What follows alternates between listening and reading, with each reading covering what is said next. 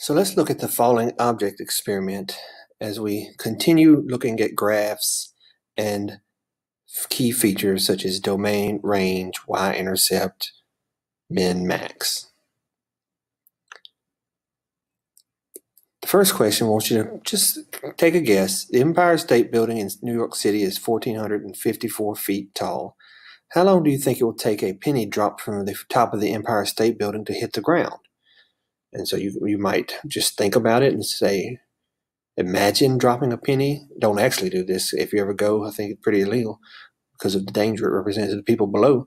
But if you did drop a penny from the very top of the building, which is one of the taller buildings in New York, how long do you think it would take for the penny to reach the ground?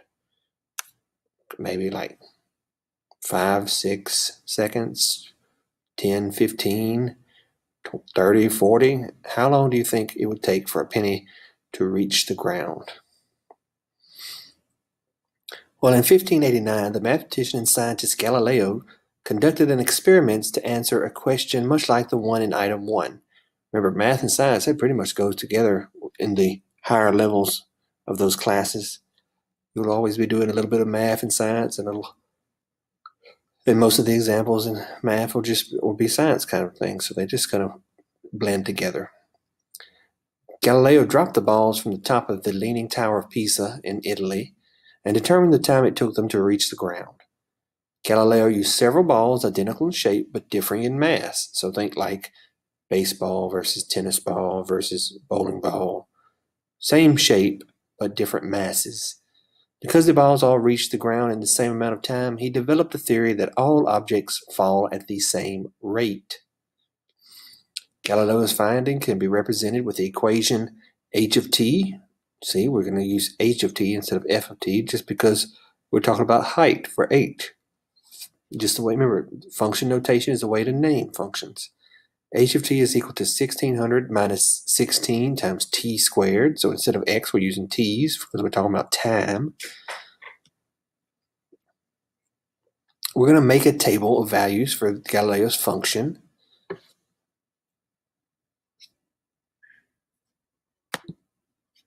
So let's think about it. All we need to do is replace the t's with these numbers and work them out. 1600 minus 16 t squared. So it'll be 1600 minus 16 times 0 squared, which is 1600.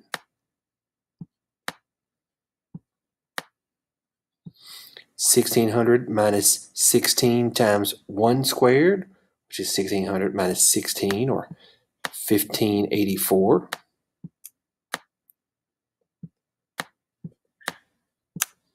Okay, and just continue on filling out this chart using the numbers for your in your time, your seconds, and replacing them into this function and getting answers.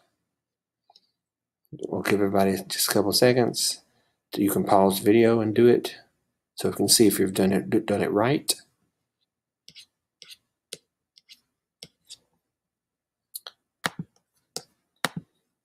Okay, let me just show you right here. Here are the numbers.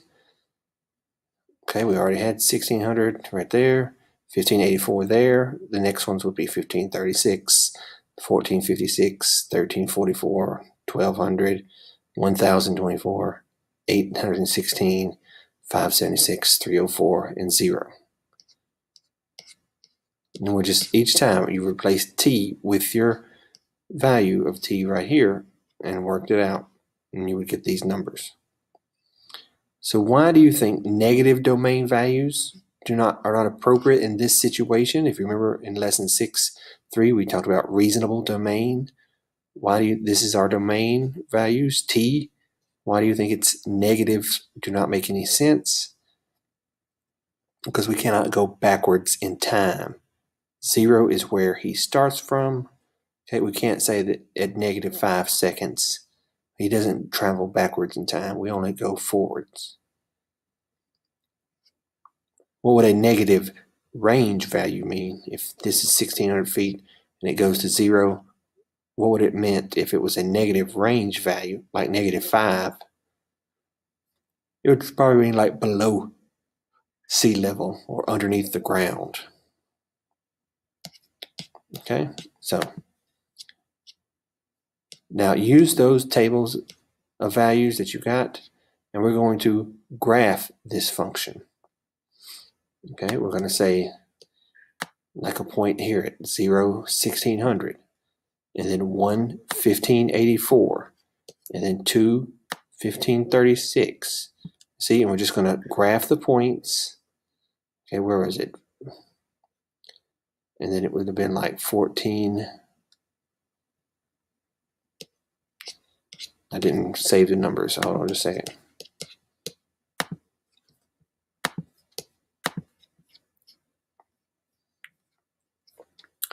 1456. Okay, so it was 1600, 1584, 1536, 1486, so about right there. No, 56, I'm sorry, 1456, and then 1344, so about right here. Uh, 1200, right there. 1024, 1024, right about there. 816,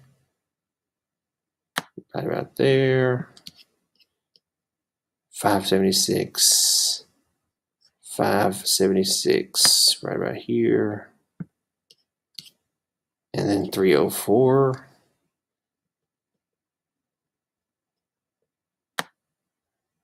and then 0. So if you graphed it using these values on this table, this is sort of what it would look like. It's not a straight line, it's a curve, okay? At first, it takes it a couple of seconds to even break out 100 feet, but then it starts speeding up, okay, accelerating as it falls, and the gap between the numbers get bigger and bigger. So let's think about what the reasonable domain is for this graph reasonably, it's from 0 to 10. Okay, the domain is going to be 0 is less than or equal to the time it takes, which is less than or equal to 10. A reasonable range, okay, is from 0 to 1600. 0 is less than or equal to the height which is less than or equal to 1600.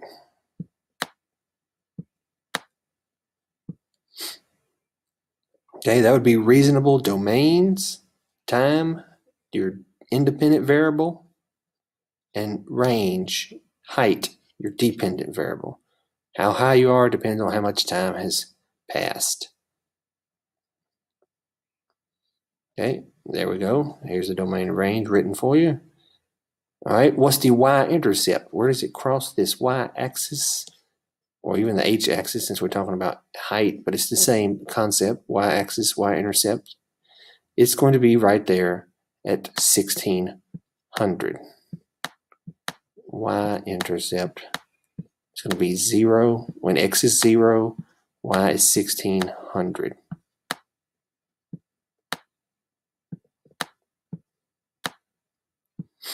Okay. See, it's very easy to get the y-intercept. It's when x is 0, where is the y? That's the definition. What does it represent? It just represents that before you even dropped the ball, you started at a height of 1600. Then what would the x-intercept be? x-intercept would be 10 0. Now, we haven't talked too much about x-intercept, but it's very similar to the y-intercept. It's where it crosses the y, uh, x-axis, I mean, when y is 0. So it's sort of like the reverse. The x-intercept will be 10, 0 as an ordered pair.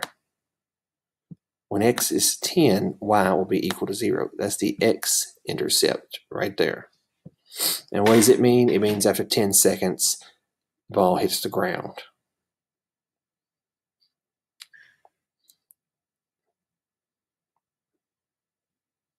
Okay, 10, 0. Number of seconds it takes to reach the ground. What are the, sorry, what are the extrema? okay, the minimum and maximums. We have minimum and maximums on this one because we have endpoints, unlike when we'd had the graphs that had arrows at the end. Sometimes we didn't have minimum and maximums depending on what the shape of the graph was. This one we do have an absolute minimum and an absolute maximum. Absolute maximum is 1600. Absolute minimum is zero. Okay. Minimum and maximum are also known as the extrema, minimum and maximums, where they're ex the extreme points, the very top and the very bottom. Okay, just saying exactly what we just said. Okay.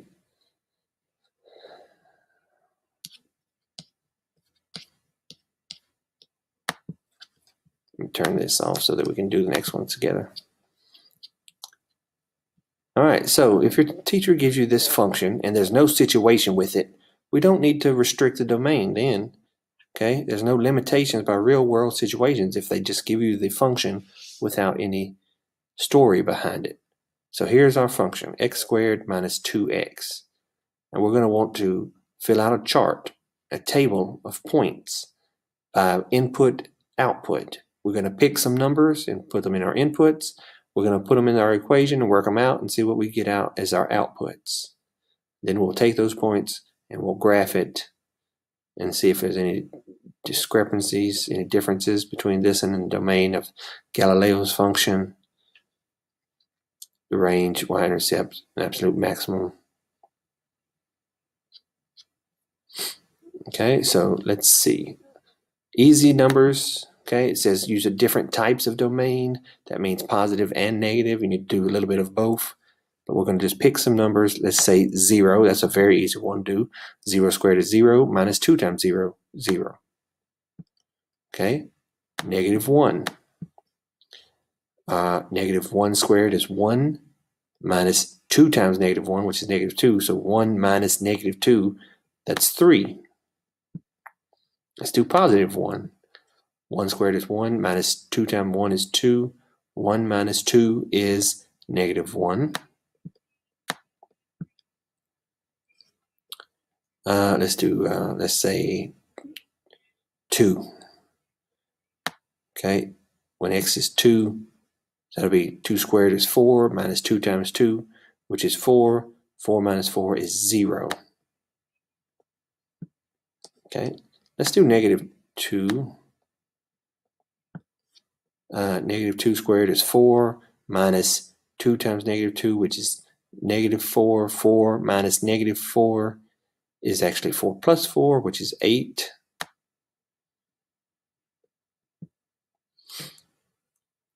Okay.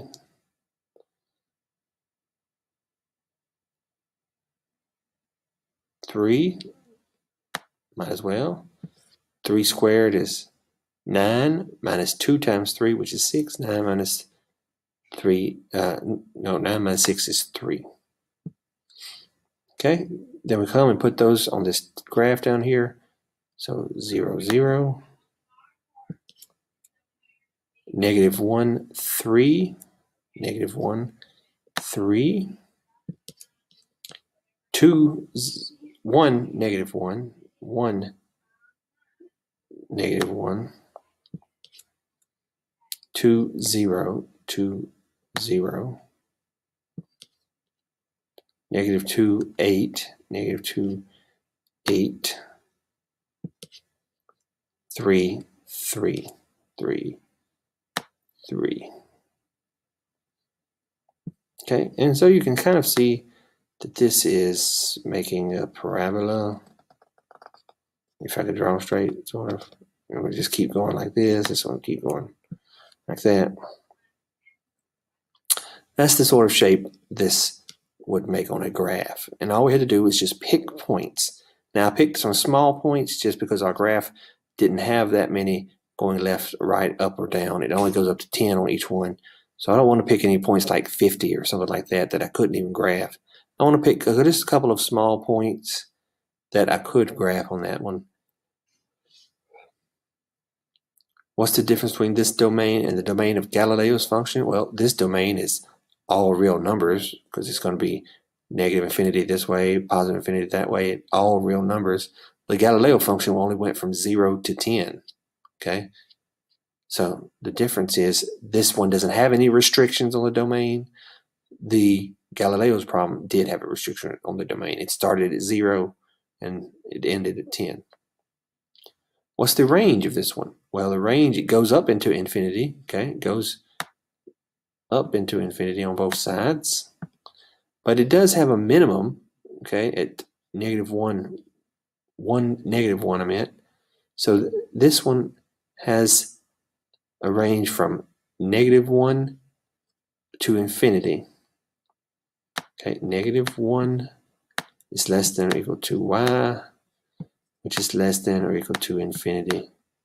That's one way to say it. We could use interval notation and say negative 1 this would be a bracket because it's included negative 1 infinity. We would use open circles because we have, can't include something we never get to. Y-intercept, 0. Y-intercept is 0, 0. That's where it crosses the y-axis. And then the absolute maximum of this one, right, there is no absolute maximum. It goes up forever. So there's no absolute maximum. But there is an absolute minimum, negative 1. Sorry, 1, negative 1. But no absolute maximum.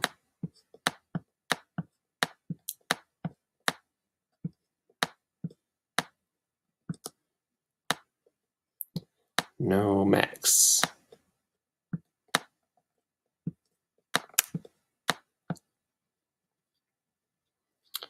All right, so if you want to try these, you can. It's more same thing. You're going to make a table. You're going to graph the function after you make the table where you just pick some points to replace your width and then find what the area of the rectangle is. Give a reasonable domain for the function, which probably means you can't have like negative widths or distances you have to go from like zero to the positive versions, uh, infinity, positive infinity. So all the real numbers, or not all real, not all real numbers, because you can't include the negatives, but you could say like from zero to infinity, the positive ones is greater than or equal to zero, probably is what the domain would be. And then y-intercept, where would this cross on the y-axis? And then absolute maximum and infinite absolute minimums. Remember, you can graph these on the Desmos calculator at desmos.com, D-E-S-M-O-S.com. If you click on these buttons, you can get there this way and you can do it inside the problems. But if you need to, you can just go over here. Let's see right there, desmos.com, and then graph the graph your functions this way. Let me cancel this out. Hold on just a second. So try these. And then we'll be through with this lesson.